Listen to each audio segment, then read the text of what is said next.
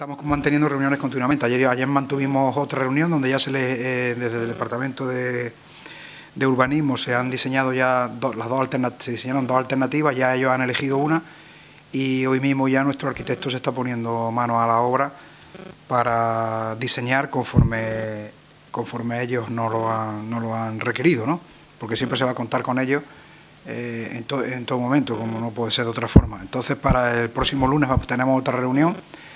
con, el, con las modificaciones que ellos, donde se plasman las modificaciones que ellos no han, no han requerido y bueno y decir que ya se ha pedido la subvención de los 120.000 euros a través de la página web de la, de la Junta de Andalucía para este, para este tipo de, de, de catástrofes y que esperemos que en poco tiempo se reciba porque eso es automático, ¿no? Eso en cuanto a esa subvención. Después, en cuanto al edificio antiguo, el edificio que se ha, que se ha derrumbado, eh, lo que hemos hecho ahora mismo es mandar un escrito al, consejero de, fomento, tal como él nos indicó,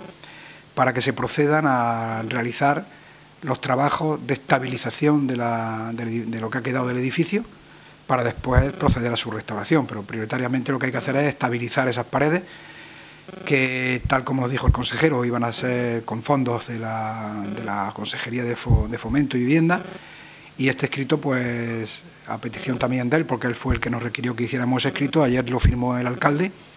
y esperemos que en, breve tiempo se puedan eh, comenzar con las labores de estabilización de ese, de ese edificio. No se podrá empezar, evidentemente, hasta que no se, se quiten todos los escombros que hay ahora mismo, que quedan ya pocos, ¿no? porque las labores de desescombro van, van rápidas y una vez que se realice eso se consolidará el edificio. Y una vez que ya esté consolidado el edificio, que ofrezca todas las garantías para que no vuelvan a producirse ningún tipo de derrumbe, pues em, se empezará a elaborar el proyecto de rehabilitación del edificio, ¿no? Que eso, bueno, tenemos que ver ese proyecto si lo va a hacer la Junta, si lo vamos a hacer nosotros, ¿no? Pero bueno, documentación hay bastante de ese edificio en la biblioteca municipal, ya estamos eh, haciéndonos con toda la documentación desde que se construyó el edificio en el siglo pasado y, bueno, y así es, así es como están ahora mismo las cosas. Yo creo que las cosas avanzan eh, a buen ritmo. Lo que más nos preocupa, como he dicho anteriormente, es el tema de ubicar a los placeros eh, y, en esto también estamos,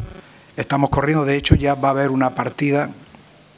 va a haber un proyecto de, para demoler lo, lo, que todavía quedaba en el mercado para que nos permita que una vez que esté el proyecto de, la, construcción de los nuevos puestos, pues no haya ningún elemento que nos distorsione y que, y que no esté ahí. Y, también se va a reparar el tejado porque hay una, aunque no está muy mal, muy mal, pero sí ahí hemos detectado algunas goteras que también se van a reparar antes de empezar la obra de, consolidación. Como digo, eh, eh, la comunicación con, con los afectados de la plaza. Es, total, incluso ayer en la, en la reunión se planteó que eh, como cada puesto tiene, hay, eh, hay puestos que tienen unas condiciones muy eh, especiales, la comunicación con el arquitecto municipal va a ser en todo momento, se va a desarrollar una comunicación con los, con los afectados para que se puedan hacer los puestos incluso a la carta de lo que necesita cada uno, según las vitrinas, según los enchufes que necesite. En fin, vamos a colaborar con ellos en ese sentido eh, y lo que estamos deseando ya es detener el proyecto y empezar, y empezar la obra para dar cabida a esos 17 puestos y alguno más y después pues se podrá ampliar en un futuro, pero ahora mismo lo que más prisa nos corre es ubicar a esos 17 a esos 17 eh, eh, puestos de la plaza que se han quedado sin ellos.